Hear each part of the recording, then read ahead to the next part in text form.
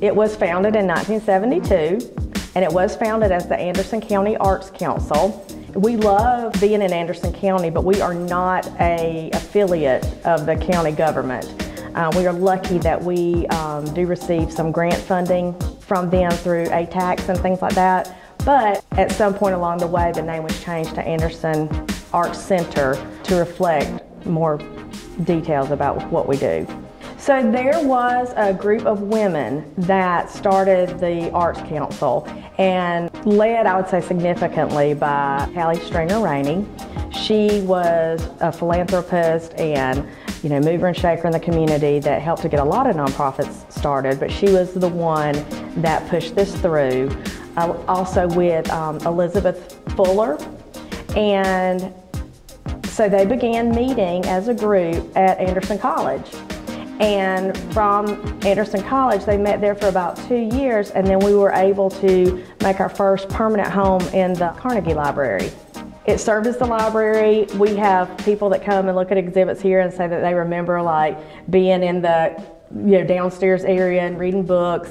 Um, and then Anderson County built a new library in the 70s, 1972. And when they vacated the Carnegie building, the Art Center moved in here for it to have its first regular gallery space and be able to do classes and things like that. But in about 1999, uh, Kimberly Spears was the executive director at the time, and there was a vision to purchase the railway warehouse that's directly behind the Carnegie building and to turn that into the Art Center.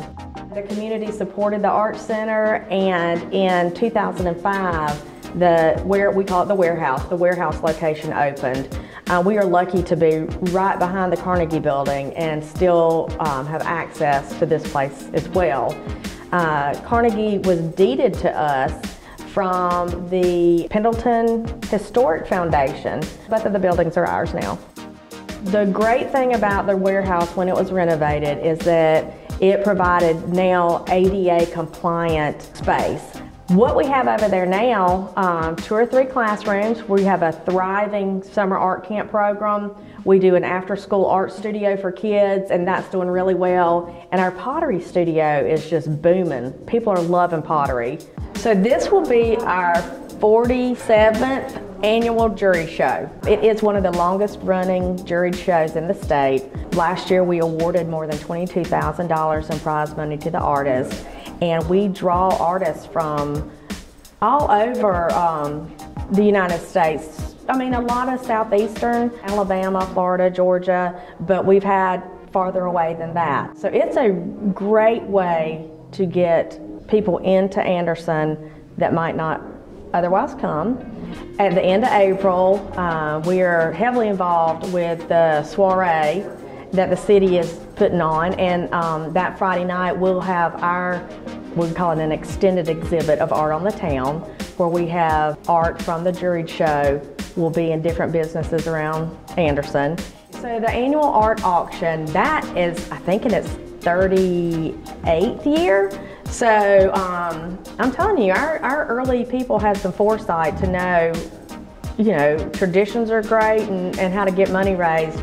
And um, that will be in at the end of August. I know that when they purchased the warehouse, there was, I want to say, like a three or four million dollar amount of money raised to renovate the warehouse.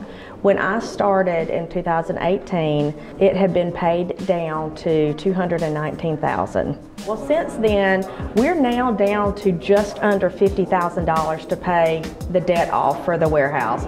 And it's perfect timing. You know, it's our 50th year. We're right at $50,000 in debt. So this is the year that we want to get that debt paid off. So we go into the next 50 debt free. a perfect situation would be for us to raise about 100,000 so that we now create a building fund to, you know, deal with repairs and upkeep and things like that. It only takes 50 people giving me $1,000 each to make that happen. Anything over that's gravy.